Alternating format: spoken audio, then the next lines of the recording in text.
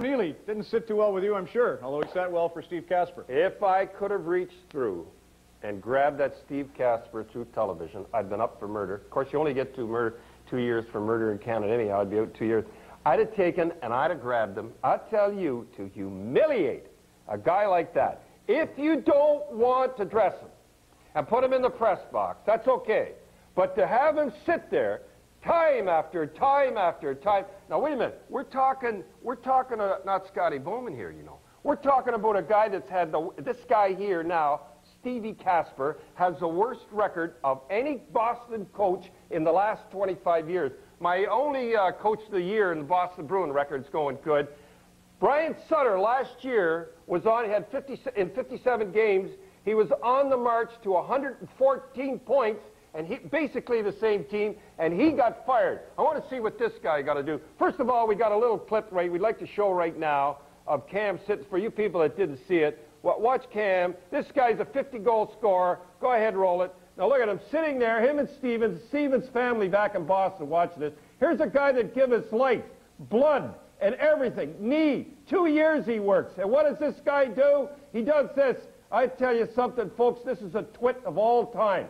He, I said a couple of years ago he had a concussion. Now I said at the end, I bet somebody Cam would come in and congratulate. The guy said, no way. He didn't go in a tantrum and all that. Watch this. Watch him. There's Cam there. Talk about a guy, I'll tell you, boy. There's class all over. I'll tell you that right now. This is in a tie in Toronto uh, the other night, Wednesday night, and they had a press conference after the game, and you want to show that clip?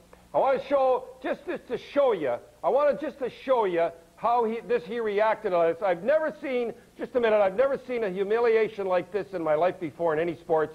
The only thing that comes close is what Jacques Lemaire did to Lafleur, benching him all the time. But not to give him a chance. Plus, it was a 4-4 tie. You had $5 million sitting on the bench. And you know what? Uh, Brian Sutter got fired. This guy has still got his job. That tells me something what he's doing with well, Harry he had to have support from upstairs. I you know? guess he did. And how he keeps his job is beyond me. Watch this little clip here we got with tears in his eyes. If this doesn't put tears in your eyes, I don't know what will. Go ahead. well, first of all, if he thinks uh, that um, you know, I'm not good enough to play on this team to help team win, help the team win hockey games, then you know that's that's his decision and his opinion. But uh,